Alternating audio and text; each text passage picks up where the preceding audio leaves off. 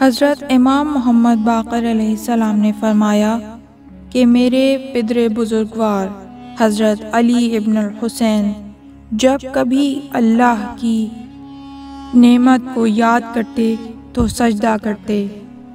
जब भी कोई आयत कुरानी जिसमें ज़िक्र होता तो सजदा करते।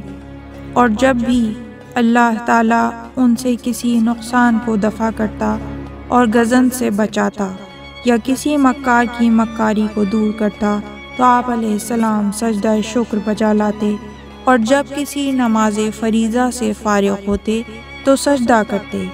जब दो आदमियों के दरमियान सुलह कराते तो सजदा करते। और सजदे का निशान आप सलाम के तमाम आज़ा पर नुमाया था।